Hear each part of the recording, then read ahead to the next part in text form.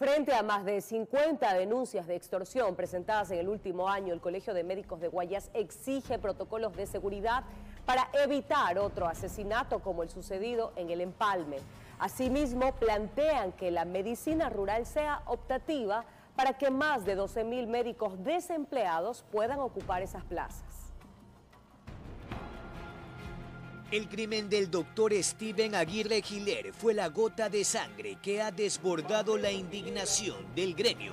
Exigen de hecho la cabeza del director distrital de El Empalme. Pero también alzamos nuestra voz de protesta ante el Ministerio de Salud, ante la gobernación, ante la presidencia de la República. En un año les han llegado más de 50 denuncias de extorsiones.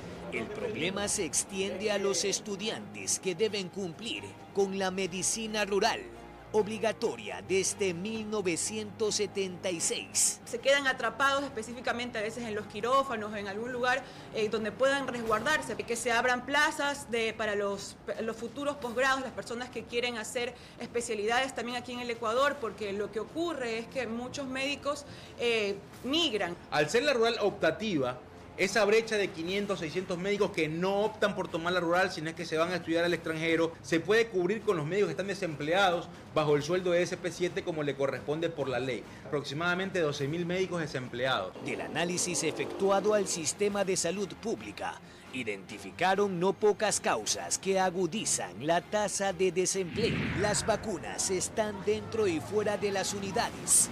Hace poco en un subcentro de salud en Naranjal exigían 300 dólares y tuvieron que hacer malabares. Obviamente no llegaron a la cifra de 300 dólares, pero se fueron contentos creo con 100, 150 que entregaron. Y así nadie puede trabajar ni vivir tranquilo, informó Jorge Escobar.